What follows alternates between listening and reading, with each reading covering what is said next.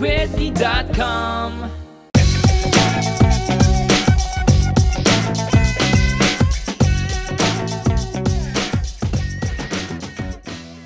with this cocktail menu, we really wanted to uh, create flavors that would work well with the food um, and really have everything be handcrafted. So we make all the syrups, all the mixers and everything for the drinks in-house. The truffle potato skins are fantastic. In the traditional Italian fashion of using every part of an ingredient or item, we take the skins from the potatoes that we use for the gnocchi and we fry them nice and crispy.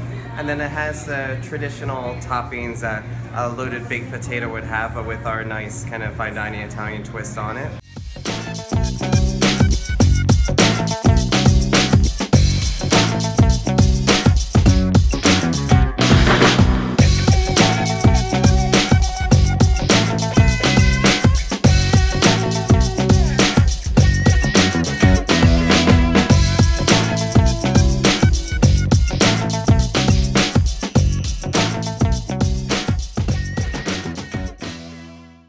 Golden tile fish, very simply pan seared. It's done with uh, grilled red pepper and fennel over our oak fire, so you've got this oakiness to the fish with the caramelization on the fish, and then just a nice lemon emulsion, red onions and capers, very traditionally finished.